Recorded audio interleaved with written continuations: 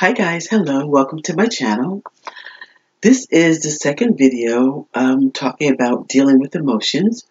What can patients and families do about feelings of depression and anxiety? This was on the first video. How can patients and their families deal with the stress of chronic kidney disease? And we're going to pick it up, guys, is the following steps that can help you lessen the stress. Number one, talk to the staff at the dialysis unit or transplant clinic. Number two, write down questions ahead of time and inform family members about changes in treatment. Number three, find out as much as you possibly can about the illness through the National Kidney Foundation, local or national support groups, written materials, and educational classes. Guys, I recommend that it helps you tremendously. Keep involved in the pleasures, activity, and responsibilities of daily living, which is true. Find time to exercise at a level to suit your individual limits. Share your feelings with family and close friends. Seek help from the social worker at the dialysis unit or transplant clinic or from an outside counselor if family or personal problems need further attention. Find time to enjoy the outdoors. Try to keep your previous goals and arrange your treatment around your goals.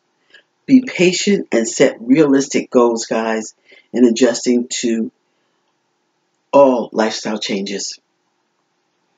Is it normal for dialysis patients to feel upset at times with the staff at the dialysis unit? Yes, it is. A dialysis unit is different from any other healthcare setting. The unit almost becomes a second family, which it does, because of the amount of time that you spend there. The staff genuinely cares about your health and well being. However, just as with family members, it is normal to feel frustrated and angry at them sometimes. Resentment caused by being dependent on other people is the most common cause of these feelings. It is important that you discuss your concerns with the staff in a respectful way. Keeping resentment bottled up inside can affect your treatment, health, and adjustment. When should professional counseling be sought?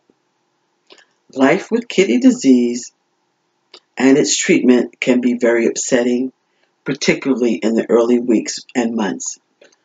Most patients and families go through a period of grieving as they try to adjust to the complex feelings and make much needed changes. Many people wonder if they will be able to cope well enough and whether their feelings are normal. Most people go through a crisis period at the beginning, but with the, with the support of family, friends, and medical staff and other patients, they eventually adjust to life with kidney disease. Does the dialysis unit and transplant facilities have trained social workers, yes, they do, who are available to, to provide adjustment counseling. Generally, the following may include a need for professional help, depression lasting more than two weeks, thoughts of suicide, loss of appetite or increased appetite, too much or too little sleep, loss of interest in, acti- in activities you used to enjoy, repeated angry outbursts, drug or alcohol abuse, inability to make decisions, and social isolation. Through counseling, patients and families can learn to draw on inner strength and learn new ways of coping with kidney disease and necessary treatment.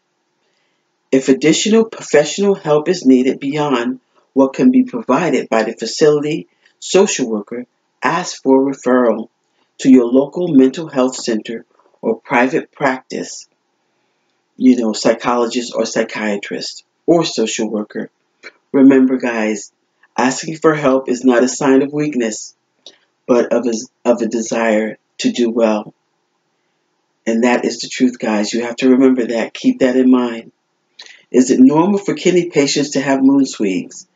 Moodiness is common among kidney patients. It is often thought to be a result of the following factors uremia or buildup of waste products in the blood, can be irritating to the nervous system, causing an increase, an increase in irritability, mostly in the early stages. Some medications may cause moodiness or make you even depressed. The stress caused by chronic kidney illness accounts for a wide range feeling, wide range of feelings and moods. This includes general irritability, anger and frustration over the problems caused by the illness, and feelings of being helpless and hopeless when faced with the life-threatening disease. Okay, guys, I'm going to stop it right here in this section. And as um, as you heard, all of these things that you guys are feeling are so normal when you first found out you have kidney disease. As I um, talked about and shared, I went through the same exact thing, and um, it's it's difficult, but it's you can get through all of it. You know, these are just the initial stages of um, kidney disease that you're going through. But you know, um, as the um, National Kidney Foundation says, there is so much help for you guys. All you have to do is just reach out. It is right there for you. So I'm going to stop here in this section of um, coping with um, um, with emotions, and to let you know again that um, we're always thinking about you. Oh my goodness, we are sending you good vibes, guys. Don't forget, please stay positive. That is your best bet, always and stay compliant with your doctors and you know your treatment. And I promise you guys, you're going to get through this. Um, just know that, like I said, there are so many people working in the background for you. So just take care of yourselves and know that this too shall pass in time. So, guys, I'll see you in the next video. Talk to you soon. Bye.